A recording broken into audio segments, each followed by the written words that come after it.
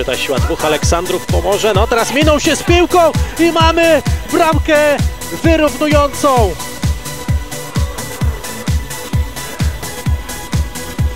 Chmielewski. No, jest uderzenie, jest bramka!